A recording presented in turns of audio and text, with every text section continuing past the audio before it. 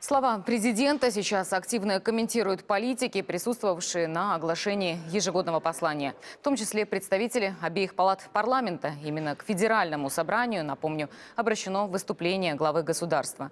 И вот что сказала по поводу услышанного председатель Совета Федерации Валентина Матвиенко.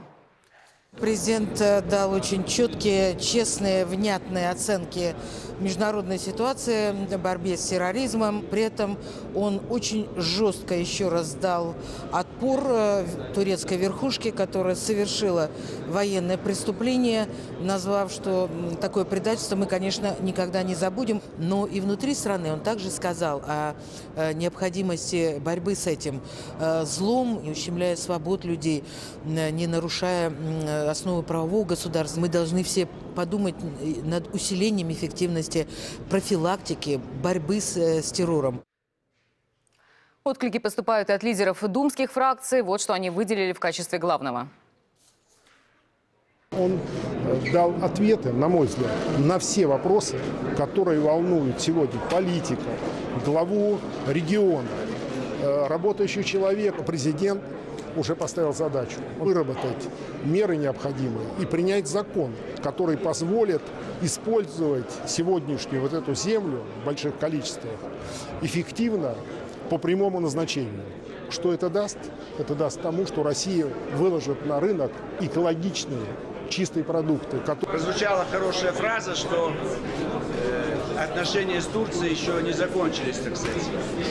И, конечно, в итоге, видимо, агрессор будет наказан. Но при этом без всякого бряцания оружием и без всякого такого, может быть, ажиотажа. Очень хорошо про молодежь. Мы всегда об этом говорили. Инженерные профессии на первом месте. Вот они, будущие инженеры, очень много сделают. Правильно продлеваем финансовую амнистию. Но мы Большое внимание уделено сельскому хозяйству, обеспечением до 2020 года полностью отечественным продовольствием э, нашими сельхозтоваропроизводителями. То, что на два года продлен материнский капитал, это тоже очень правильное, взвешенное решение. Должное внимание было уделено инвалидам, коих у нас почти 10% нашего населения. Послание президента Российской Федерации демонстрирует уверенность в поступательном движении нашей страны. Никто и никогда не сможет это движение остановить. Блок, связанный с борьбой с терроризмом, хорошо продуман и проработан. Реальные предложения. Эта политика проводится последовательно и неукоснительно, но ее надо подкрепить вкладом, необходимым в оборонный комплекс. Хотя он отчасти и с места, но тем не менее все, что вы видите в небо и на земле, это в основном изделия советской эпохи.